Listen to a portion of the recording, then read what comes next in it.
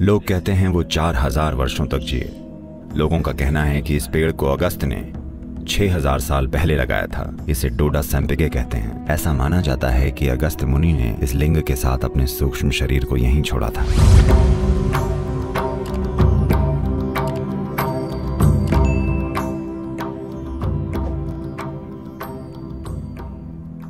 केदारनाथ से लगभग छह से सात किलोमीटर दूर। कांति सरोवर के तट पर योग विज्ञान की पहली दीक्षा दी गई थी। उस जगह को कांति सरोवर कहते हैं। कांति सरोवर यानी कृपा की झील। It was named as the Lake of Grace. उसे कृपा की झील नाम दिया गया था क्योंकि इस झील के किनारे पर पहला योग कार्यक्रम हुआ था। 12 से पंद्रह हज़ार साल पहले जब आदि योगी हिमालय के ऊपरी क्षेत्रों में दिखाई दिए हज़ारों लोग वहाँ इकट्ठा हो गए। क्योंकि उनका व्यक्तित्व ही कुछ ऐसा था कि लोग आकर्षित होने लगे और लोग वहीं बैठ गए। पर वो कुछ नहीं बोले। उन्होंने आँखें बंद की और वहीं बैठ गए। लोग इंतज़ार करते रहे। वो बस ऐसे ही महीनों तक वहीं बैठे रहे, बिना हिले। लोगों को समझ आया कि अगर कोई इस तरह बैठा है तो वो ज़रूर अपने शरीर और भौतिक प्रकृति के परे होगा, नहीं तो वैसे नहीं बैठ सकता। सिर्फ़ सात लोगों को ये बात समझ में आई और वो वहीं बैठ गए। भारत में इन सात लोगों को आज सप्त ऋषि या सात दिव्य ऋषियों के रूप में जाना जाता है। उन्होंने उन्हें कुछ शुरुआती साधनाएँ दी और कहा, आप तैयारी करें, फिर देखते हैं। एक दिन जब शिव का ध्यान उन पर पड़ा, तब उन्होंने देखा कि ये चमकते हुए पात्रों की तरह हो गए हैं। जो आत्मज्ञानी है, जब वो ऐसे चमकते हुए प्राणी देखता है तो वो चुप नहीं रह सकता। शिव ने देखा, ये लोग वाकई तैयार हैं। और तब वो कांति सरोवर के तट पर बैठ गए और उन्होंने योग विज्ञान की व्याख्या करनी शुरू कर दी। इस विज्ञान और इस ज्ञान को आत्मसात करने के लिए और इसे अपने मानवीय रूप का एक हिस्सा बना लेने के लिए वो लंबे समय के लिए हाइबरनेशन या सुषुप्तावस्था में चले गए। उनमें से सबसे प्रमुख ऋषि जो हमारे लिए सबसे ज़्यादा महत्वपूर्ण हैं, जिन्होंने दक्षिण की यात्रा करना चुना, उन्हें अगस्त्य मुनि के नाम से जाना जाता है। उन्होंने ज़मीन के नीचे मौजूद एक स्थान में जाकर अपनी साधना करनी शुरू कर दी। किंवदंतियों का कहना है कि वो हज़ारों वर्षों तक उस जगह में हाइबरनेशन की स्थिति में रहे।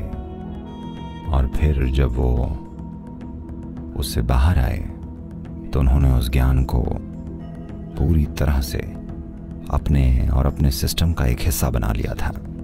तार्किक या बुद्धि के स्तर पर नहीं, बल्कि अपने खुद के मानव तंत्र में गूंजने वाली एक प्रक्रिया के रूप में। फिर उन्होंने दक्षिण जाने के अपने मिशन को पूरा करने का फैसला किया।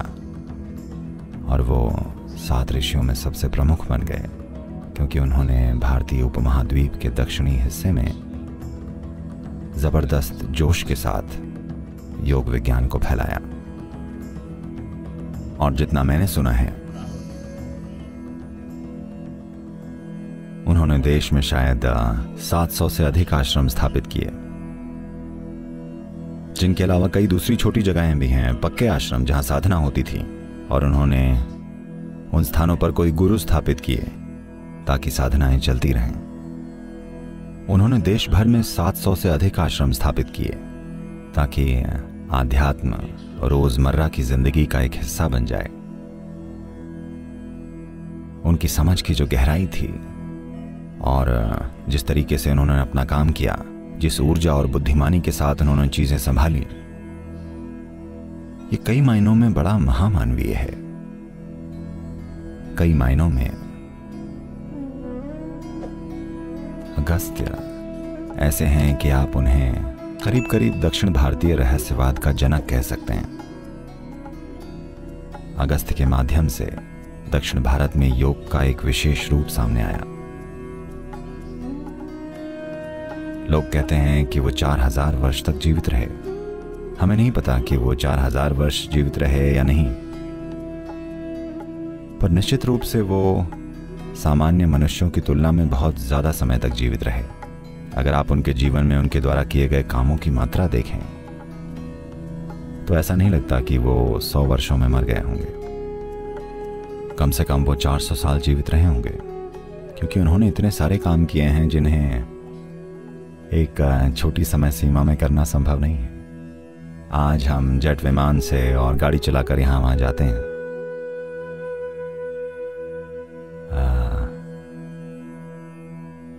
समझिएगा, हम कम समय में बहुत कुछ करने में सक्षम हैं। पर अगस्त ने पैदल चलते हुए इतनी सारी यात्राएँ की कि किसी के लिए भी सामान्य इंसानी उम्र में इतना सारा काम करना असंभव है। पक्का वो बहुत लंबे समय तक जीवित रहे। शायद 400 साल रहे होंगे। या शायद 4000 साल। या तो लोगों ने एक और ज़ीरो जोड़ दिया होगा। आखिरकार ज़ीरो है। पर उन्होंने अतुलनीय काम किए थे। ये अगस्त मुनि ही थे। जिन्होंने कार्तिकेय के क्रोध पर काबू पाया था। कार्तिकेय शिव के पुत्र थे तो वो बहुत गुस्सा हो गए थे, इसलिए वो अपने पिता से दूर जाना चाहते थे। तो वो बड़े क्रोध में दक्षिण की ओर चल पड़े और वो एक योद्धा बन गए। कई मायनों में वो एक बेजोड़ योद्धा थे। वो जीतते चले गए। वो शासन करने के लिए लोगों को नहीं हरा रहे थे। उन्हें जो कोई भी अन्यायपूर्ण लगा, वो उसका वध करते चले गए, क्योंकि उन्हें लगता था कि उनके माता पिता ने उनके साथ अन्याय किया है और वो न्याय लाना चाहते थे। जब आप गुस्से में होते हैं तो आपको सब कुछ अन्यायपूर्ण लगता है। है ना? अगर गुस्सा आ जाए तो आपको हर छोटी छोटी बात पर लगेगा कि आपके साथ कोई बड़ा अन्याय हो रहा है। तो उन्हें लगा कि दुनिया में बहुत अन्याय है तो इसलिए उन्होंने कई लोगों को मार डाला। तो उन्होंने कई लड़ाइयाँ लड़ी और वो दक्षिण की ओर बढ़ते चले गए। ये अगस्त ही थे, जिन्होंने उनके इस क्रोध को उनके आत्मज्ञान का साधन बना दिया। और, अंत में कार्तिकेय ने सुब्रमण्या में विश्राम पाया। तो आखिरी बार उन्होंने सुब्रमण्या में अपनी तलवार धोई और कुछ समय के लिए वहाँ बस गए और फिर कुमार पर्वत पर जाकर उन्होंने सीधे खड़े खड़े महासमाधि ले ली so this great art of transforming Kartikeya's anger into a means for his enlightenment. Kartikeya के क्रोध को उनके आत्मज्ञान के साधन में बदलने की ये महान कला ये अगस्त का ही काम था। और दक्षिण भारत के ये सभी सिद्ध लोग वो सभी अगस्त की ही परंपरा से जुड़े हुए हैं। एक तरह से हर वो चीज़ जो मैं कर रहा हूँ वो अगस्त के काम का ही एक छोटा सा विस्तार है। उन्होंने एक ज़बरदस्त महल बनाया है। हम उसमें बस एक और कमरा जोड़ रहे हैं। क्योंकि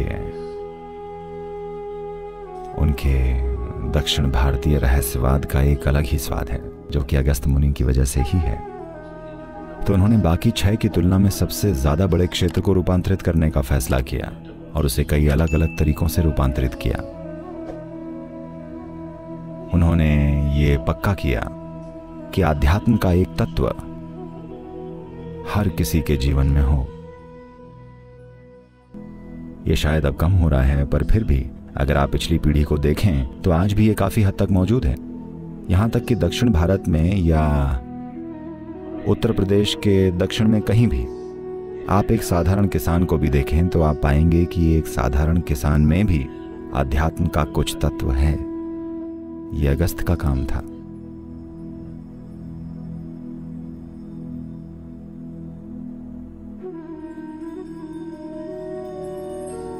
This is an area where Agastya Muni walked. Probably he even visited this temple, either himself.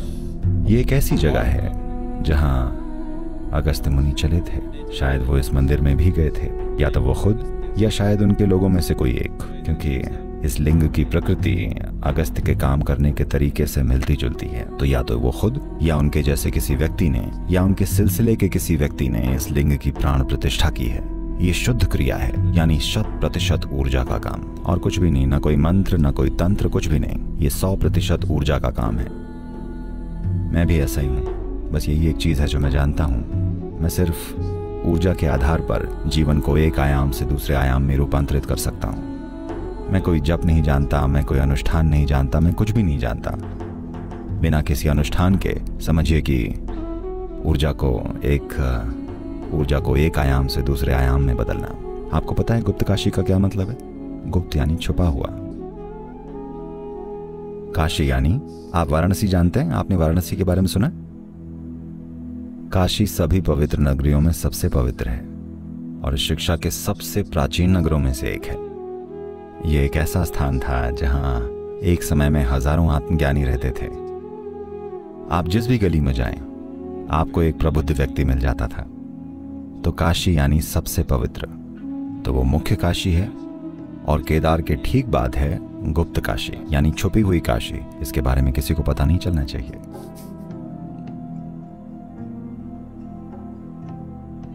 Agastya की दक्षिण यात्रा के बारे में ऐसी बहुत सारी कहानियाँ हैं कि जब वो दक्षिण की ओर जा रहे थे, तब उनकी मुलाकात विंध्याचल से हुई।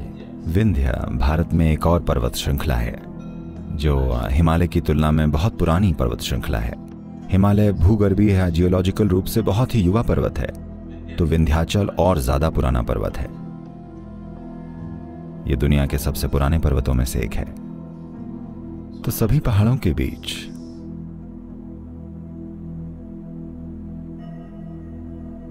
हिमालय को पहाड़ों का राजा चुना गया था। तो जब अगस्त दक्षिण की ओर जा रहे थे, तब विंध्याचल क्रोधित हो गए। और उन्होंने अगस्त को रोक कर कहा, आप ये कैसे कर सकते हैं? आप हिमालय को राजा कैसे बना सकते हैं? वो मेरी तुलना में सिर्फ़ एक बच्चा है। आप उसे राजा कैसे बना सकते हैं?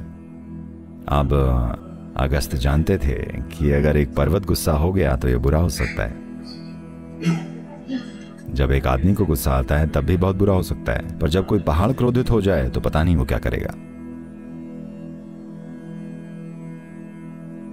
अब, अगस्त वहाँ बैठे। तो विंध्याचल, जो कि एक बहुत बड़े भक्त थे, उन्होंने अगस्त को प्रणाम किया। तो अगस्त ने कहा, बस ऐसे ही रहें। वहीं रहें। मैं दक्षिण की ओर जाकर वापस आऊँगा। फिर हम आपकी समस्या को समझेंगे। तो विंध्याचल झुका रहा और अगस्त के वापस आने की प्रतीक्षा करता रहा। अगस्त कभी वापस नहीं आए। अगली बार जब वो उत्तर गए तो वो दूसरे रास्ते से गए, जगन्नाथपुरी के रास्ते से। सिर्फ़ विंध्याचल से बचने के लिए, ताकि वो वश में रहे और ज्वालामुखी बनकर फट ना जाए। तो विंध्याचल बहुत छोटा रह गया। वो वो छोटा है क्योंकि वो झुका हुआ है। हिमालय ऊँचा है क्योंकि वो खड़ा है और अभी भी बढ़ रहा है। कहीं भी दक्कन के पठार में अगर आप यात्रा करें तो लगभग हर जगह। आप गाँव में देखेंगे, कोई कहेगा, ये वो गुफा है जहाँ अगस्त ने ध्यान किया था। ये वो स्थान है जहाँ अगस्त ने ऐसा किया था। बी आर हिल्स के सभी स्थानों में, जिसे बिलीगिरी रंगन बेट्टा कहते हैं जो कर्नाटक में चामराजनगर ज़िले में स्थित है। तो बी आर हिल्स में एक जगह है, जहाँ एक सैम्पिके के पेड़ को क्या कहते हैं? इसे इंग्लिश में क्या कहते हैं? सैम्पिके चंपका कहते हैं क्या? ठीक है, ये एक बड़ा खुशबूदार फूल होता है। ये एक पेड़, लोग कहते हैं, अगस्त मुनि ने लगाया था। यह पेड़ पक्का बहुत ही अविश्वसनीय रूप से पुराना है। यह पूरी तरह से गांठदार हो गया है। और ये अपनी तरह के किसी भी पेड़ से बहुत पुराना दिखता है। लोगों का कहना है कि इस पेड़ को अगस्त ने 6000 साल पहले लगाया था। इसे डोडा कहते हैं, डोडा सैम्पिगे क्योंकि डोडा सैम्पिगे यानी बड़ा सैम्पिगे ये इतना बड़ा है। और, अगस्त ने यह पेड़ लगाया था और वो कुछ समय तक वहीं रहे थे।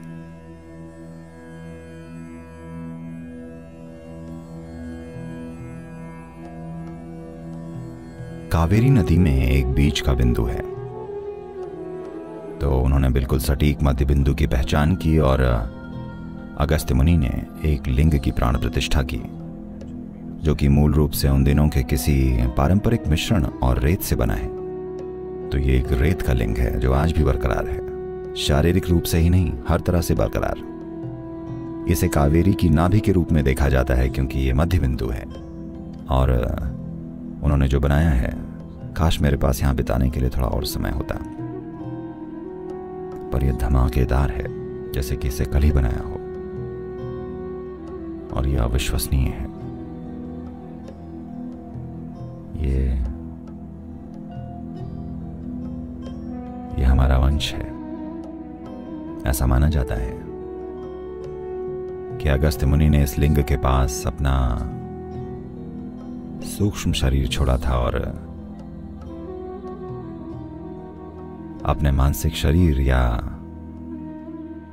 या मनोमय कोश को कहा? मुद्रे या विरुद्धनगर के पास कहीं एक जगह है जहाँ उन्होंने अपना बौद्धिक या मानसिक शरीर छोड़ा था। पर उन्होंने कार्तिकेय की मदद ली और अपने भौतिक शरीर को कैलाश ले गए, जहाँ शिव मौजूद थे और उसे वहाँ छोड़ दिया। ये अंत समय में चीज़ों को करने का एक शानदार तरीका है।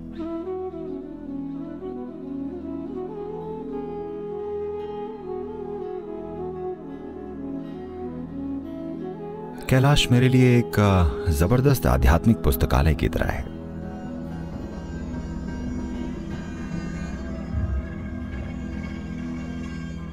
लोग कहते हैं ये शिव का निवास था ये शिव का निवास है। इसका मतलब ये नहीं कि वो आज भी वहाँ बर्फ़ पर नाचते हैं। इसका मतलब कि हर वो चीज़ जो वो थे, इस जगह में वो निवेशित है। न केवल वो, बल्कि हर कोई जो आया। मेरे लिए सबसे महत्वपूर्ण बात यह कि अगस्त्य मुनि ने हमें पता है कैलाश में अपनी ऊर्जा का निवेश किया था। तो अगस्त्य ने कैलाश के दक्षिणी हिस्से में अपना सब कुछ निवेश कर दिया। यह अविश्वसनीय है। अविश्वसनीय यानी बिल्कुल अविश्वसनीय। प्राकृतिक सौंदर्य की दृष्टि से तो इसके लिए शब्द ही नहीं है। पर शक्ति और ऊर्जा की दृष्टि से भी यह बिल्कुल अतुलनीय है।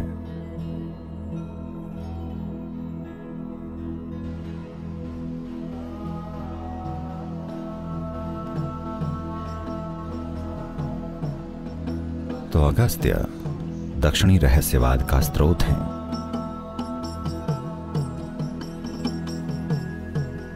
मैं जो कुछ भी हूँ, उसका स्रोत अगस्त मुनि ही है।